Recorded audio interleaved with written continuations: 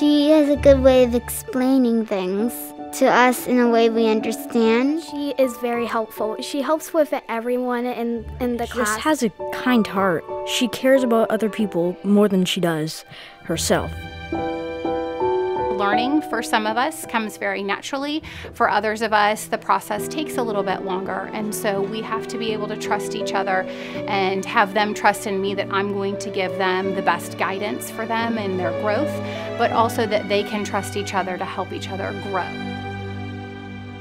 We focus on relationships, and I know if I've got a good relationship with my kids, if my kids have good relationships with each other, that we really can do anything. Anything is possible.